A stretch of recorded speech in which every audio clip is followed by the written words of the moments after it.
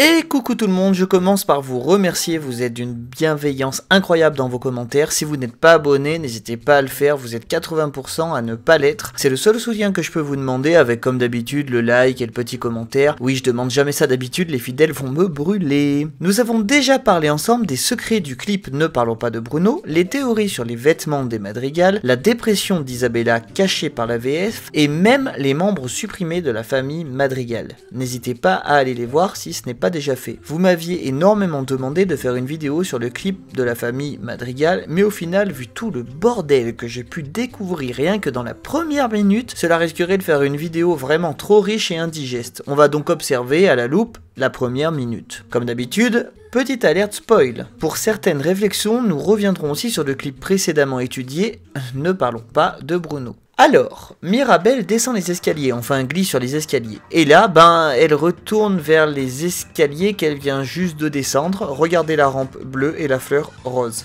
La maison des Madrigals contient deux escaliers. L'autre est d'ailleurs près de la tour de Bruno.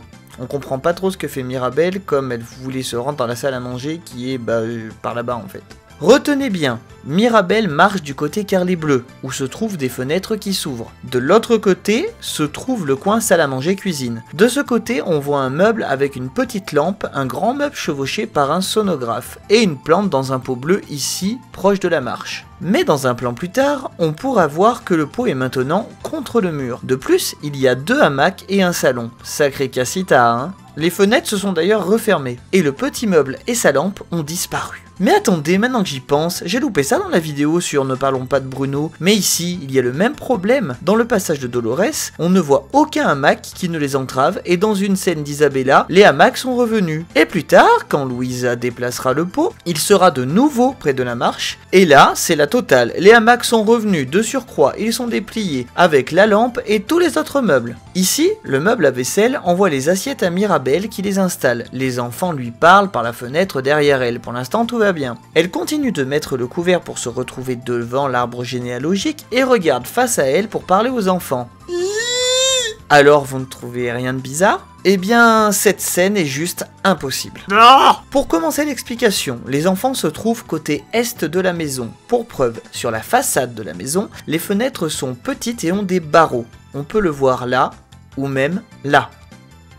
Les enfants sont du côté où les fenêtres sont plus grandes et non pas de barreaux. Il n'y a pas de rocher devant la maison d'ailleurs. Cependant, quand Mirabelle les remarque, on voit que la table est parallèle aux fenêtres. À ce moment, vu comment est placée la table, il devrait y avoir les petites fenêtres derrière elle, pas les grandes fenêtres avec les enfants. Et si vous me dites que la table peut avoir changé de sens plus tard, eh bien ce n'est pas possible. Parce que là, pour montrer l'arbre généalogique aux enfants, elle regarde face à elle, donc du bon côté, parce que la table est toujours bien alignée avec l'arbre généalogique. Alors je suis désolé si ça paraît confus, mais ça a été une horreur à calculer. J'ai fait 30 plans de cette baraque, alors croyez-moi, c'est le bordel.